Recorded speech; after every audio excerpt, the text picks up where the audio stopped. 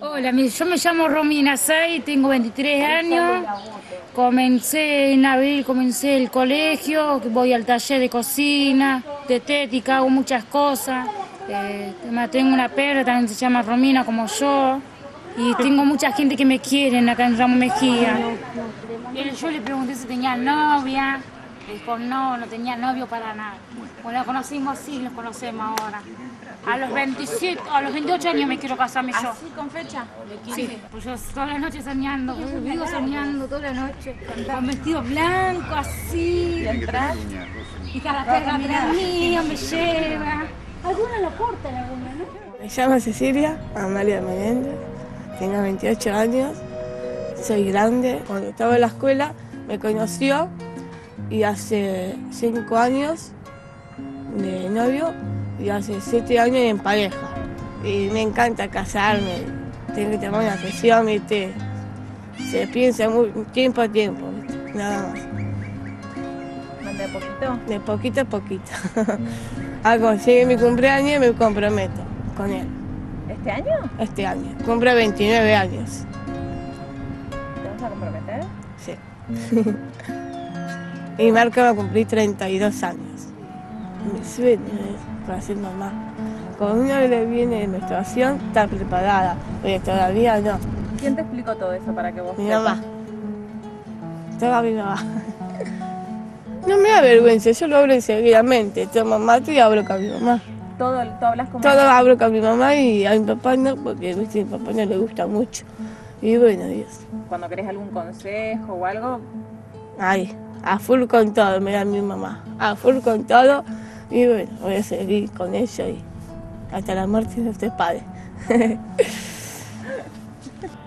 y mi mamá sí me deja casarme, pero es muy, muy, es muy, muy pegado a la mamá, ¿viste? Y no está muy criado para la casa. Yo, sí estoy preparada, pero Marco no está listo, ¿viste? ¿Y vos por qué sentís que estás preparada? ¿Cómo, cómo sos vos? ¿Así, muy independiente? Contame eso. Sí, muy independiente de las cosas, muy me, dice la curatela, mi mamá me puede casar, eh, ya voto. mi mamá me gustaría ser mamá. ¿Cuántos, ¿Cuántos hijos te gustaría tener?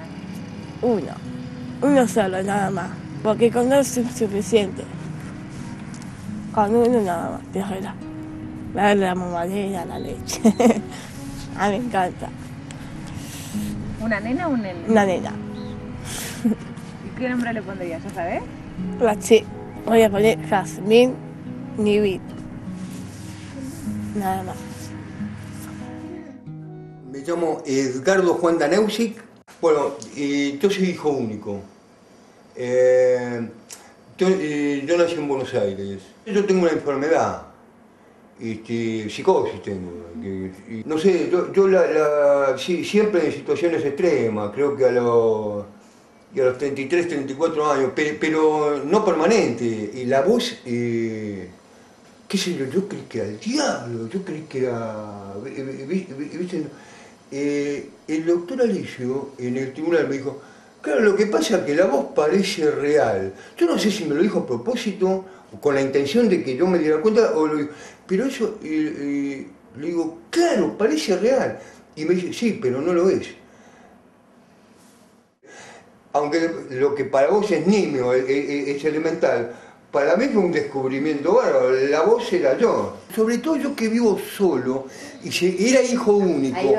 mi papá no me quería, me quería mi mamá. Se murió mi mamá, no, tengo, porque no tengo, no, hablemos de, novia, no tengo un amigo. Donde todos eran mis enemigos, yo pum, conocí al tribunal, donde todos me decían, venga, siéntese, y eso fue muy importante, muy importante. Como antes no tenía nada y encima me pone ese rótulo de incapaz, no, puedo estar contento. O sea, o, sea, yo para mí el tribunal me estaba poniendo peor de lo que estaba. Mirá cómo estoy, escuchando voces por, por todos lados y encima me, me, rotulás, que, me van a tirar a la basura. El caso de Gardo fue un caso de desafío para todos nosotros también en el tribunal, para todos los profesionales que trabajamos. Porque esta cosa de apoyo, nosotros trabajamos y vemos el apoyo familiar, pero ¿qué pasa en los casos de Gardo? que está solo. Entonces lo que nosotros ahí eh, entramos como a armar una red de apoyo y en este caso, bueno, quedó el apoyo en el tribunal. En otros casos trabajamos con otras instituciones, ONG, y tienen otro, otro apoyo comunitario. Y en los años íbamos viendo esta cosa de sus habilidades. Él trabajó en un banco, entonces mejor que él para administrar su dinero. Él nos daba clase a nosotros cómo administrar la plata. Yo les puedo asegurar que es así. Entonces esas habilidades no las perdió. Entonces después él recibía el cheque y tomaba sus decisiones. Eh, mal, en el intersonal, así como hablo, bien del intersonal, mal porque este, incluso había locos medio peligrosos, violentos. Este, y, ya te digo que, yo salgo igual, porque a mí lo lo que me cura es la tranquilidad, la, estabilidad. Yo, yo entro en choque en situaciones extremas. No me habló nadie, a mí conmigo. Después yo voy al médico. Eh, tengo, mm, bueno, tengo que ir porque, pero está dispuesto por el juez, quiero decir. Eh, los médicos que ya cambié como los cambian, no, cambié yo. Ningún médico me habló, me preguntó, ¿usted sentía voces? Usted? Nadie para mí que me curé. O sea, no puedo decir, porque yo, eh, según los médicos, la psicosis no se cura eh, y tengo que hacer el tratamiento, pero yo distinto, estoy, estoy distinto. Eh, yo para mí que me curé. Te digo, para mí no es por tomar el remedio, es, por todo lo que dije, por, por tener este apoyo, por tener apoyo, por no, hay que, uy, ¿qué comemos? Porque yo